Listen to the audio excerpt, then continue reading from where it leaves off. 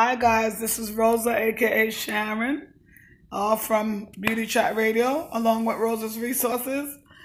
Anyway, guys, this is March 13th, 2020, and I cannot believe what's going on. I am live, broadcasting live from New York City. Um, I work at the airport. I currently work at the airport, right? That's my full time job. And it's a little scary. We're seeing more travelers coming in now with uh, mask. You know, we have to be there. So we're in ground zero. We're there. You know, we're in the war zone. So a lot of times customers come, they don't have manners, they don't know how to sneeze like this. You know, they sneeze right in your face. Like, it's scary.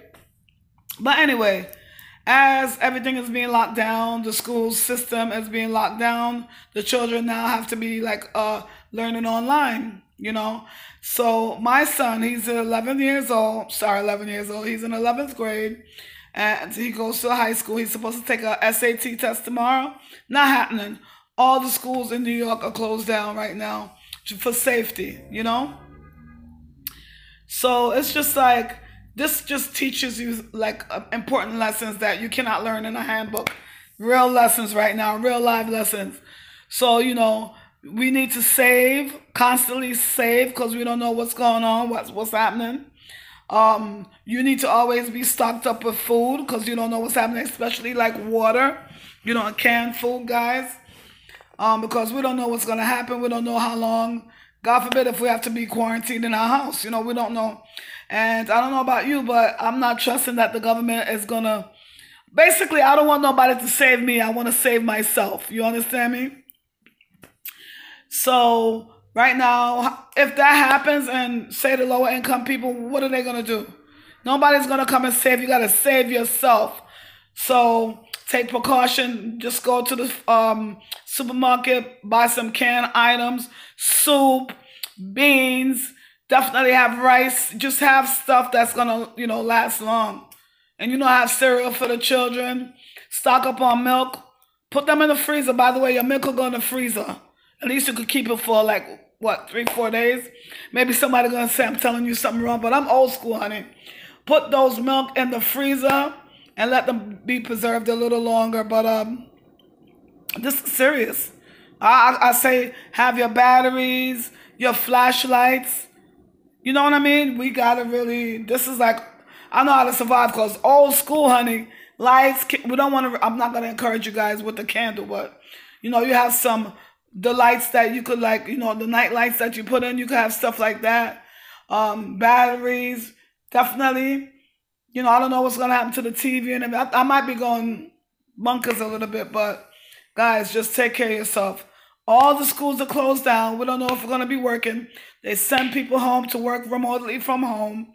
So, wow. I say this is the new world order, honey. Life as we know it is definitely to change. The thing about it, the thing about living in America, people always think it can't happen to them. You know what I mean? We think that we're so protected, and for me, that's a false sense of security. But this is so big, so big, you know? Look what happened. And we just want to pray for the world because if you look on the map, all the dots are filled up. So it's affecting global. This is a global, it's definitely a global thing, guys. So you just got to be creative right now because if you got to make money, you got to make money. I don't know what you guys going to do, but you can have online consultation. Um, I'm sure we're going to be able to go outside every now and then. Maybe they're going to have curfew. But we have to make sure if we could bake, cook, we're gonna have to make. We're gonna have to just like be creative as far as making money out here. It's serious because some people don't have family like myself. I don't have family here. You know what I mean? I don't have nobody to depend on here. So it's all about me. I gotta survive.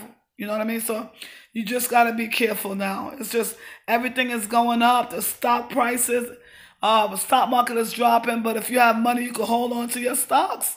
You know what I mean? Be smart with your money. Make sure you have some money at home. Even even your little your coins, you save your coins, honey. Those are gonna be your emergency fund. So um, I am just coming here, guys, to put my little input in with this coronavirus. 2020, since it started out, everything is going on. Everything. The president, they try to impeach him. Everything just was like ever since uh, 2020 coming. It's like when 2000 was coming in and everybody said, "Oh my God, the millennium." That's how I feel about 2020. It's the worst. I just want it to be gone already, but welcome to the future, honey.